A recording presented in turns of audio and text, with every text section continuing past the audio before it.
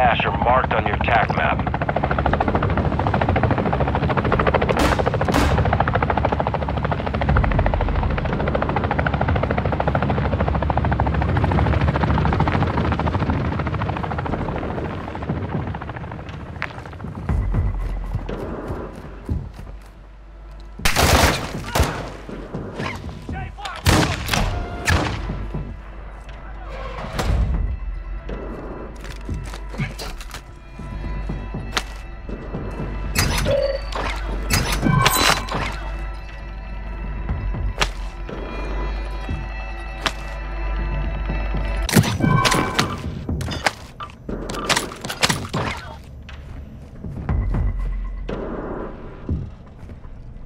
Ultra One, depositing cash at a dead drop will fast track your weapon recovery.